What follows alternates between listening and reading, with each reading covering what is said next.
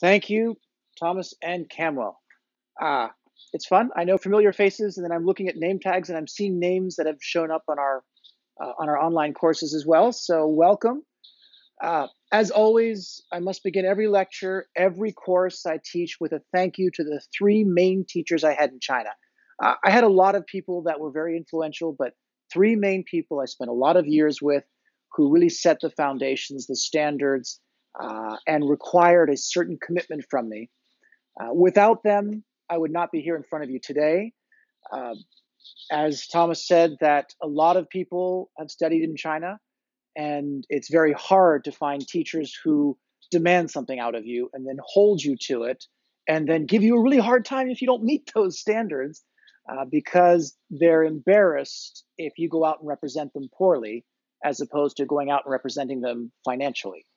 Uh, and that was the time that I was there in the 80s, 90s, and then the 2000s.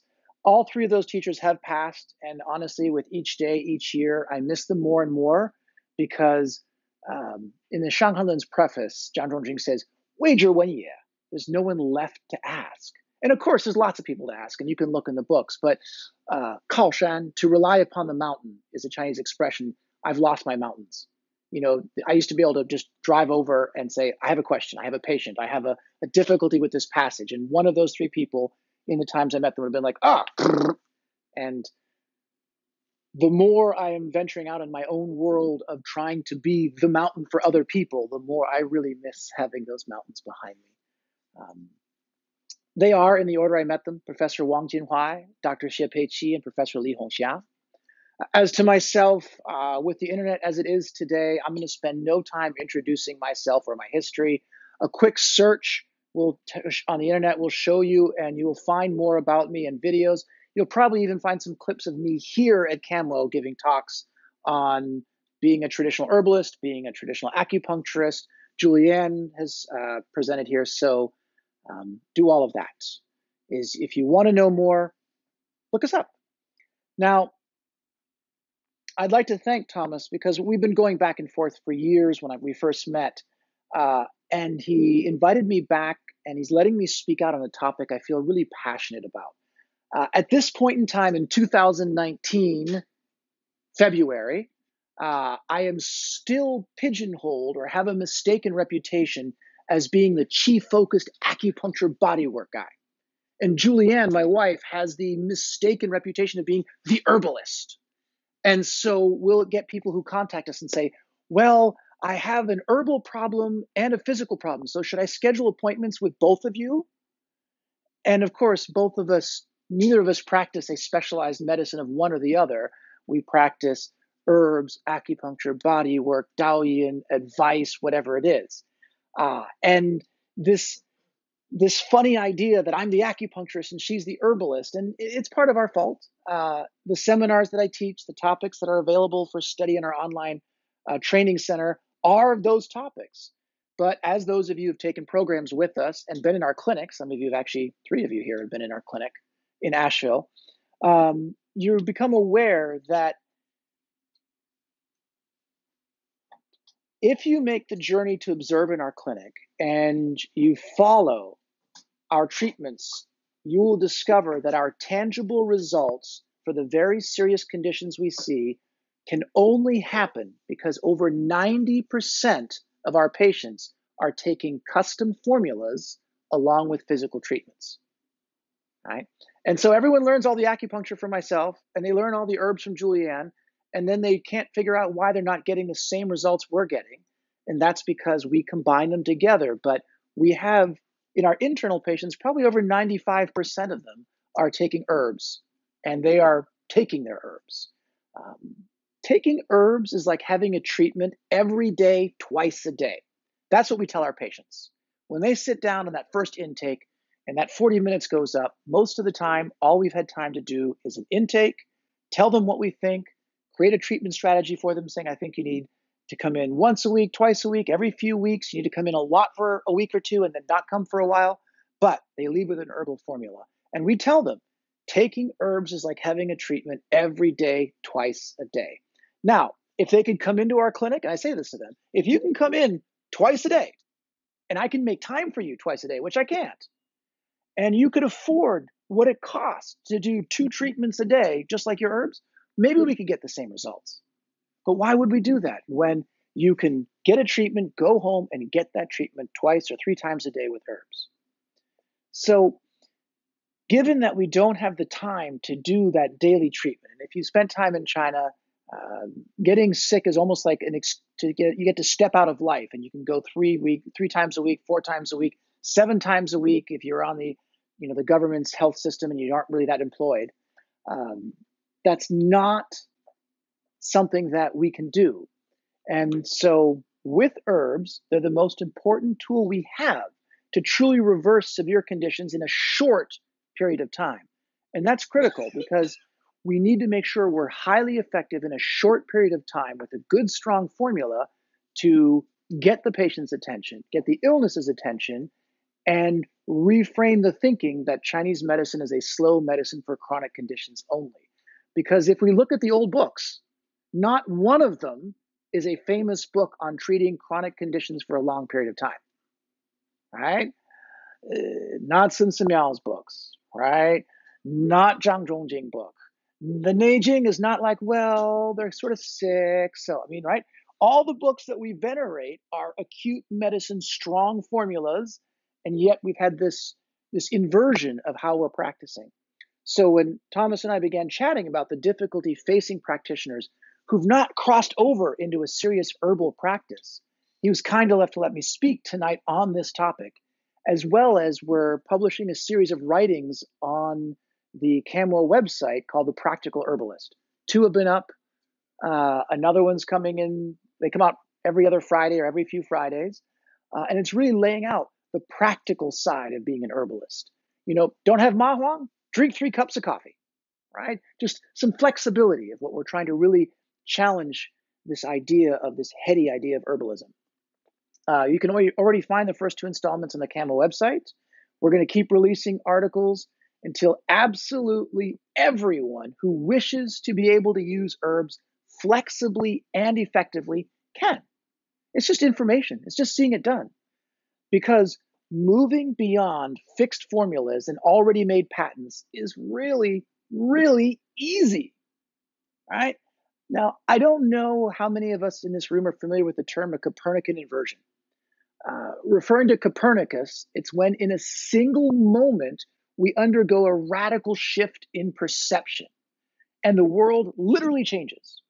One moment, the sun revolves around the earth, and then he realizes that wham, Suddenly, the earth is revolving around the sun. It's a sudden moment, and that inversion of thought is called a Copernican inversion.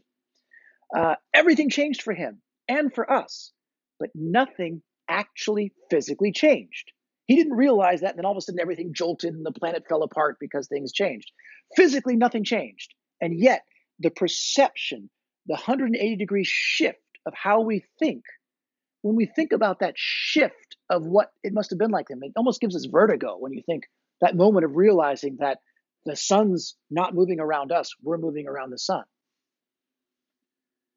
Now, that was a positive shift, a leap forward in thinking. But herbalism has sadly undergone a negative Copernican inversion.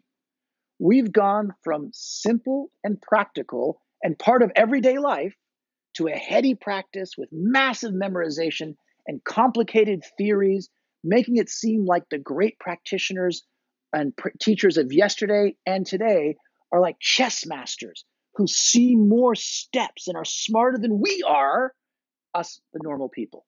Like, oh, that, that person, he can do it because they're really smart. She's really, really, really, really smart. And it, it it's taken on this idea of this the the really special people do that at that level. And I laugh when I think about this because I have copernically shifted back and forth so many times on the study of herbs and medicine that I probably have what I like to call several intellectual concussions. Right? I mean, just whap, the brain in there is going back and forth. Now, I was an eager 20 year old in Professor Wang Jinhuai's Beijing apartment, and I was ready to begin my first herbal class in 1988. Okay? I had a backpack of books from the Chinese Medicine University Uh, I at that time I was in the Chinese medical language program of the university. That's the feeder into the university, into the medical university. So you study Chinese medical theory in Chinese before going into the university. I had a backpack full of the, of books from the Chinese Medicine University. I was really ready to learn herbalism, and I thought I was just I was so excited. I'm in China. I'm 20. I got a backpack full of books. I'm in this old calligrapher's house, and he's going to teach me herbs. And he looked at what I brought, kind of tilted his head sideways, and said, "Come on." And we jogged down the steps of the building and out into the yard next to a coal heap. He, being in the Cultural Revolution, he was a poorly. He had a lot of problems. He was given the worst housing in the university, so he looked at the coal heap uh, he grabbed a plant right outside the building door. I mean, he literally grabbed it outside the door, handed it to me. He told me to look at it and then pick every single one for a hundred meters. Now, there's something you need to know about Andrew is I have some golden retriever in my DNA. Okay, I am so eager to please. I like to play. I like to please. I'm a happy person. So I picked up all these dirty plants that was going through the coal dust uh, you know, it's outside this Chinese building, and this is the 80s, so people are walking on it, spitting on it, peeing on it. Uh, I mean, it, it, was a scary time in the 80s, if you at all know what that was like. So I've got this handful of these plants. Professor Wang, we jog back up. He gives them a quick rinse, and I'm thinking, I am in so much trouble. Like, I've just come to Asia, I've been there a few years now, and I'm about to get hepatitis. I want to learn herbs. I'll take hepatitis. I'm watching this all happen, and I'm like that, right? He tosses it in, he simmers it for 15 minutes, and then he takes the whole pot, he puts it on his dinner table, right? Which is a fancy thing in China because the apartment's just a little table, right? And a ladle and two teacups. Shim, shim. He goes, drink, right? And I had my first Copernican concussion as I realized we're not even going to open these books that I brought. The plant before the cart was my first Chinese herb, which is the literal name of cheqiancao and cheqianzi, the seed of it, right? He told me how because it grows along every roadside, absolutely everywhere, it was the easiest to get and thus the most important to use well. And he told me skin problems, you simmer briefly, drink like a tea. Insomnia, irritability, you simmer longer until bitter, then drink the stronger brew rash or splinter or boils, mash the plant up until pulpy, apply topically. Only have it dry, soak in warm water until rehydrated. Mash, stick on topically. That was my first day. I didn't know what hit me, but I honestly left that evening convinced I could cure just about anything with cheqiancao. I, I was just like, mash it, boil it, tincture it, you know, not tincture it, but you know, just tea and all of these things. I was like, ha ha. And then this continued. Next class was pugongying, right? Dandelions, ginger, scallions, unripe green oranges, yams, shanyao, Chinese crab apples, shanzha, all with tips on whether to soak or boil or steep or smash in order to achieve different results. And so at the end of a month or two, I had 10, 12 herbs that I had learned to use five, 10 different ways, each single one to be able to think I can do absolutely everything. And as always, always, always, he would be referring to Shen Nong tasting the herbs to identify their flavor in nature, to know their action, as well as whether they could be relied on for health, illness, or in between, or the Shangzhongxia of the Shen Nong Bencao, the three layers. Now, unfortunately, as I've told you, I have some retriever in me. So while I am eager, I am not the cleverest of dogs, right? eager to please, not so smart. I didn't get like the Australian Shepherd, right? So my overly educated didactic brain kicked in because I come from a background of, of that kind of education. And I lost weeks and months after this beginning time period building databases of single herbs and their actions based on the books, trying to make this learning syllabus, all of this information. And it, the further I went in, it just got harder and harder to learn. Starting as I did with picking and drinking herbs, I thought it was easy, right?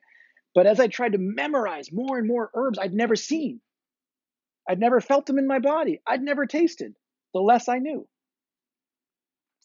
I foolishly created my own single herb class. How many of us have had to sit through like the one year of single herbs?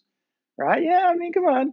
Oh, I know, but I mean, it's still, it's like, there they are, 300 herbs by the end of your two semesters, and you may never have really done anything with them. Nobody was picking them in the yard and smashing them up for you and having this intimate relationship. And so I was skipped that entire thing, and then I did it to myself. I created that class. Uh, so what started as non-confusing got to be completely overwhelming, and I experienced a negative Copernican concussion. I just went the wrong way. Now my teachers, uh, I was their, I was like the happy foreigner, so I was their pet foreigner. They're like, look at my cute foreigner. He's really smiley and he has a car, so he can drive us around the city. It was very helpful in those days. Uh, but they were very patient and they saw me trying to memorize so many herbs without context and becoming worse and worse at it that they explained that an herb without context is like a cart without wheels. It sits there doing nothing. I was walked through the Shanghan and the Jingui formulas, and I had concussion number three. Herbalism is a team sport, right? It's not meant to be individual, it's a team sport. And by combining the correct herbs together, we can treat successfully. My retriever kicks in again, and next thing you know, I am building formula databases instead of single herb databases. Ouch. Studying single herbs as an intellectual exercise and a course by itself without the context of patients and illness is the first wrong direction we have taken in our study of herbalism today, the Copernican inversion. Uh, traditionally, before you even knew anything about the herbs, You'd be sitting there copying them, copying them, seeing patients take them. You wouldn't even know what they were yet. And then you'd be reading them at home, but always seeing in the clinic, clinic, clinic. And the teacher would say, okay, now come back in a month when you've memorized these herbs. But always seeing them first. You would see patients before you even knew what the herbs did so that you would have that people are getting better, people are getting better, people are getting a lot better, people are getting worse. This one died, this one lived, and they were taking these herbs and getting these treatments. And then you begin to see more and more clearly oh, they took these herbs. Oh, they had that treatment. But it started with just seeing people get better or worse. So,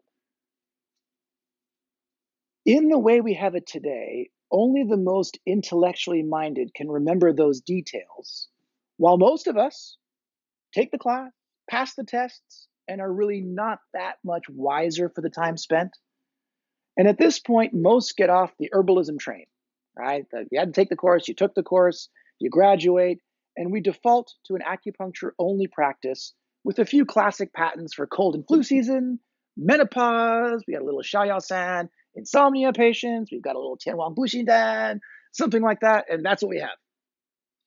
But enough do keep going on that train that they make a concerted effort to start memorizing single formulas, which is the same wrong direction, just harder.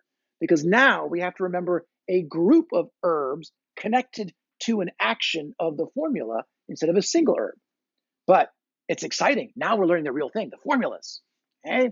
So, unfortunately, when the dust settles of the excitement, there's still very little connection with the real problems of real patients in the real world we lose perspective to such a degree that we, upon graduation, write down all of the single herbs in all the famous formulas we studied, and then we buy them to have our own pharmacy, right? I mean, how smart's that? Look up all the greatest formulas, buy those herbs so you can fill those formulas for our patients. But most of the time, those formulas don't really fit we're also at the beginning of our practice, so we're staying up at night filling famous formulas for patients to pick up the next day. Results aren't that great. They complain about the taste. And within a year or two, most of the herbs we bought never got used. They're still sitting there. And we're losing too much personal time. And those herbs are taking too much space. So we end up with patents. Now, we have all those famous formulas squished into little pills, which are easier to store and easier for patients to take. And probably in another six months to a year, we figure out we didn't need to stock the variety we began with. So we end up with a small pharmacy of pill medicines, usually the ones that we get lucky with and with a patient and now believe that one really works. All right. As well as the greatest hits of formulas Resilient Warrior, Free and Easy Wanderer, Cold Snap. Do you guys carry Cold Snap, that one? Um, oh, there you go. I know that's, that's our client. I asked the front. Hey, front. Um, but if there is Cold Snap, at some point, buy it because they're the first people to be honest. You flip over the bottle or read the directions. I keep an empty one in my clinic just to read to people because it says take three, uh, take eight pills three times a day, or forget absolutely everything you've been told. And the long and short of it is they say take a huge amount all the time until you feel better. I mean, it's right there in the bottle. Like, finally, somebody speaks up and says, you know, you're not going to get better with eight pills of Jinyinhua by itself when you're really sick. It's just, it just, it doesn't work. You have to just take mega doses, right? So, cold snap is forever in my my gratitude for being honest. Emperor's Tea pills, Rehmannia 6. I mean, we all know the greatest hits of those things. After we settle into a routine, we end up telling patients and believing ourselves that patents can work, but they have to be taken a long time to nudge or shift the constitution of the patient. And you know, honestly, some patients do get better to justify this belief, this practice, right? But we have to be clear the results we can get from T pill pharmacy will never get near what the Neijing demands of us to be even the lowest ranked doctor. The Neijing is clear. Six out of 10, you get to call yourself a low ranked doctor, a xiagong, right? I mean, uh, that's a good, you know, that's holding the bar high. It's not 10%, it's not 30%, it's not even 50%, which Zhang Zhongjing makes a reference in his preface. He says, you know, if you use his book, you might get to half of your patients get better. He's purposely staying below that six out of 10 line out of humility. Um, but the only way we can get past that five out of 10 marker is if we practice what we preach, which is Chinese medicine is an individualized medicine. It's based on each individual patient we have. We must customize our treatments and not blindly follow protocols and we must customize the herbs they take and not rely on pre made formulations. Now, both protocols and pre made formulations have their place. It's why they're famous, it's why they're here. They work. We use both in our clinic, but it's important to know that the pre made formulations, patents or otherwise, it's when the shoe fits, that's when we use it. But what's really important to know is that if we want to move into a more immediate, tangible, successful practice, not financially, but uh, illness wise, we can't, if the shoe doesn't fit, we can't try to stick it on our patient's feet anyway, right? It's not the right shoe. Don't use it. Now, I was fortunately concussed back to my herbal roots uh, after a few years of study when I developed a truly nasty skin rash. Uh, I was out in rural China for weeks at a time. I was around livestock, muck. Uh, this is being filmed, but who cares? I'll tell you the story anyways. So it's all outdoor toilets, uh, you know, cement plank. You squat, and we were there in the day. And as you're sitting there bored, you look, and it's full of maggots trying to climb up the sides. And it becomes a game. You watch them come up, and they get. What happens is they leave the water, and as it gets drier up the sides of the cement, they fall down. Right. So you sit there and you have diarrhea because you're in rural China. So you sit there a long time. I'm sorry, I'm telling you this story. Uh, and you just watch them climb and fall. And then you go at night. And you know they're doing the same thing. And you start to think, is one of them going to make it? it's a terrible moment of fear. You're like, ah, and this is before cell phones, right? So, uh, so I developed this nasty. I'm around parasites. I mean, it's it's it's rural China, right? So I make it back to Beijing for a few days. I show my rash to my teacher, and he goes, ah.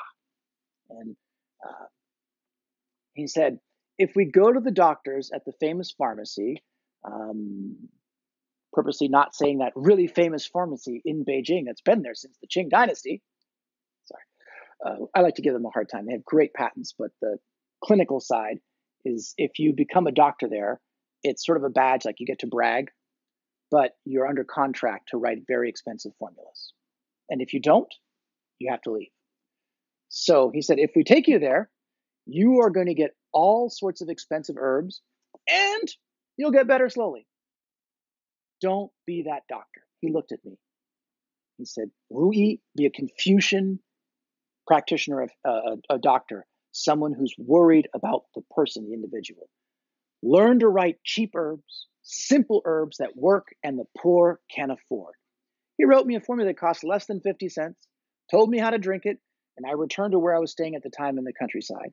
I boiled up my first bag in the evening, and I woke with a white, non itchy rash instead of the mean red one I'd gone to bed with overnight. I was looking at it 50 cents.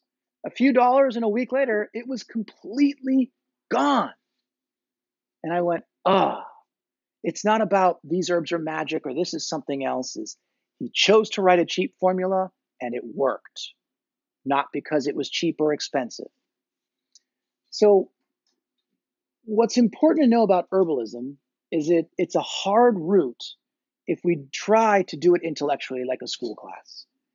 It's also hard to get good at if we have to do it on our own. I began with a dirty plant picked outside the door, and I continued by copying down the formulas my teacher were my teachers were using day in day out for years and years and years. And so I saw it in practice. But please, I stress this every time. Don't let anyone fool you into thinking it takes years and years to learn how to do this. That's just not true at all. We can learn to do this very quickly. We then spend time maturing, getting better at it. But we don't take years until finally being like, oh, now I get it. We need to get this quickly and then practice so we can mature. It's not hard because once you're put on the right path, it's easy. The reason why we want to keep working with experienced teachers is to see what is possible in terms of types of diseases treated and the dosage amounts of herbs used in chronic versus acute conditions. It's really important because uh, the old famous doctor is going to get the scarier cases. And then you get to see dosages and herb use that we just won't be able to get to see in our own clinics until we become that person. Right? The expression in Chinese is jian guai bu guai, or when we see strange things, it's no longer strange.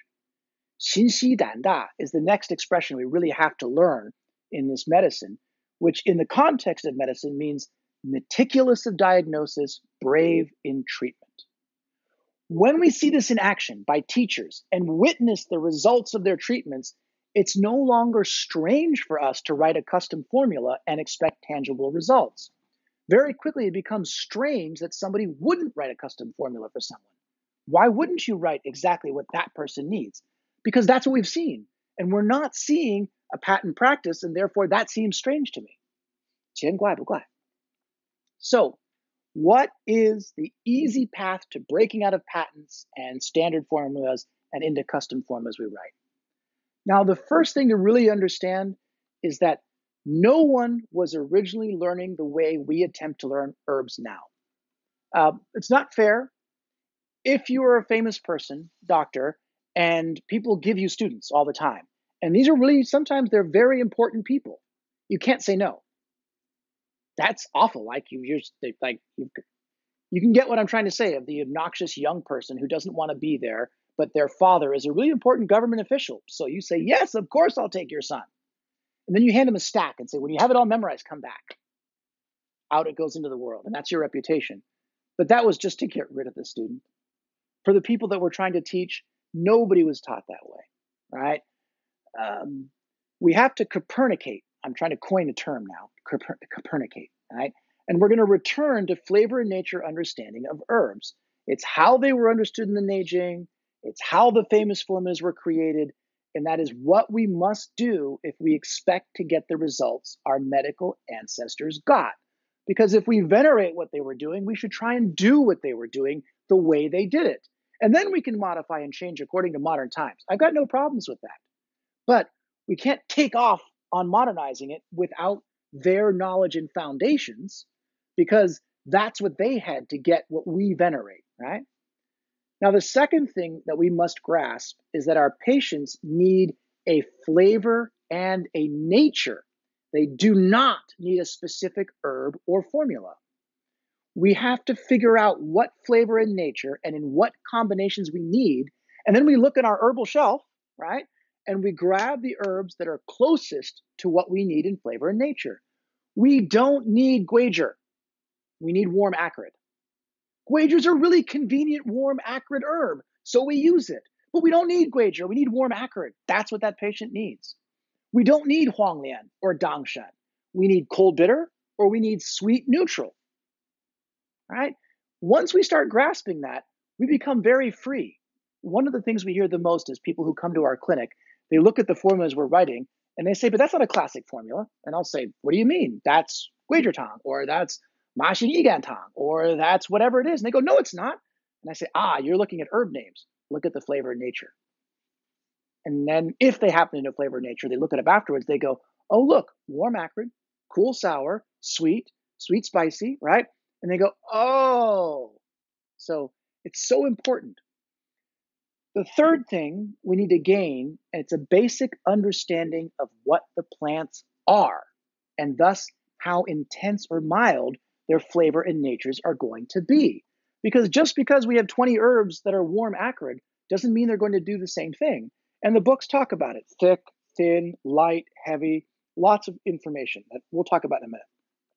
Now, when we understand the plant's basic nature on top of its flavor nature, we can understand that ginseng, renshen, it's so effective because the root it's a root that takes years and years to grow in a shady environment. So it's had years to soak up lots of yin nourishment. Because, you know, today a lot of the renshen is very hot and they do it, you know, there's Gaoliang renshen and things like that. But traditionally, if you look at the old books, it was a nourishing yin, cool, sweet herb, if you look at how it was used in the Shanghan Lun. So we're cooking this thick root and it means there's more thickness or strength in the flavor because it had seven years to suck up nourishing things. Cheqiancao, or plantain, which is how I began my career uh, picking that plant, it grows quickly and it goes from moist to dry and it bolts quickly and it can grow in very shallow soil. It grows anywhere. So, it is serious condition, it doesn't have that strength unless we use a lot of it, a lot, a lot of it because it's a little weed growing on the side of the road. Gentle, sure. Big illness, better pick a whole lot of it and smash up a whole lot of it because it hasn't had much time to do something. Now, seeds, they can be oily and we can say they're moistening, but if we don't grind them, the oil isn't really released and their moistening property doesn't happen. And we say seed in English, but are we really talking about a nut or a seed? So xingren, right? Uh, 10 grams of xingren is a common dose that we're going to see, apricot kernels. But the thing that we need to understand is that they're kernels, not seeds. They're heavy. So 10 grams is not very much. And if we miss that the formula in the old book says 70 kernels in your formula, it doesn't say, oh, wait, it says count them out, 70 of them.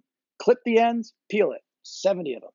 And we think, and we only use 10 grams because that's what the book says or our teachers say, we're really hindering the oily moistening effect that the book mentions to calm the lungs that Xingren has.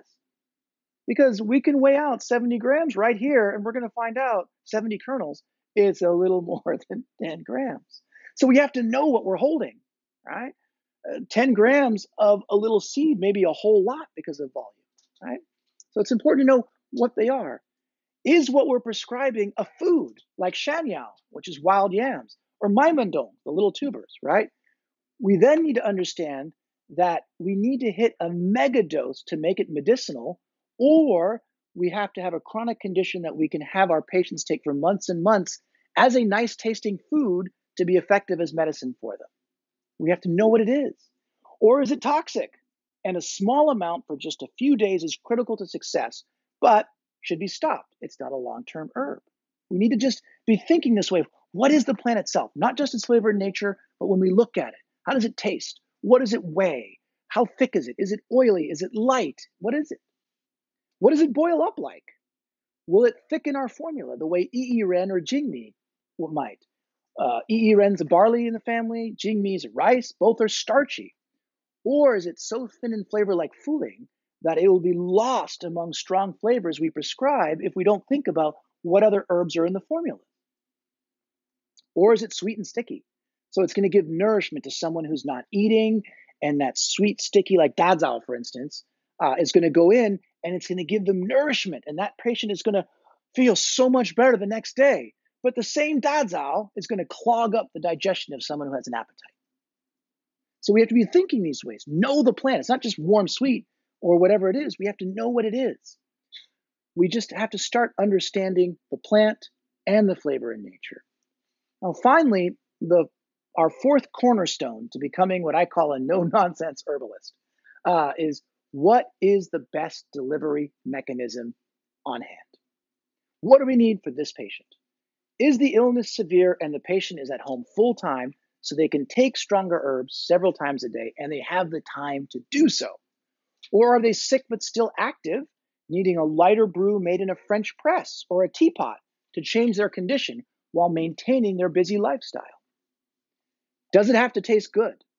Or does it need to be really bitter to get the person's attention and make some changes? Do we need to provide the herbalist version of the carrot and the stick, alternating a strong bitter formula with a mild pleasant one? It's said that the study of Western philosophy is everything is a footnote to Aristotle. I'm saying that everything that follows in herbal formulations, famous formulas, teachers, and books are footnotes to these four foundational principles. Return to flavor and nature practice.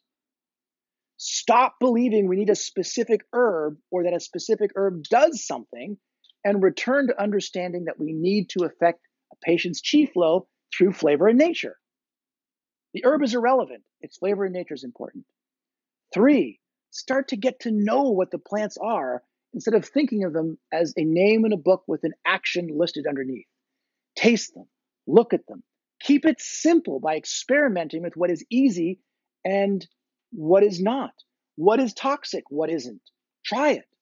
Then we can start to differentiate why we might pick one herb over another, even though they have the same flavor and nature. And four, match intensity of formula and delivery method with the illness and the patient in front of us. Every treatment, every formula should strive to be the perfect judo flip. A good judo flip has a pull with the arm, a sweep with the leg, and a pivot with the hips, right? And that's what makes it look effortless. But exactly how and where to place the arm, the hip, and the leg depends on whether the opponent is bigger than we are or smaller than we are. Is charging at us or are we charging at the opponent? Right? Is the opponent actively aggressive or is the is the opponent passive? That all of those are going to completely vary how I go in and do my flip. And I need to look at my delivery methods and my intensities the same way. What is the perfect match to this situation?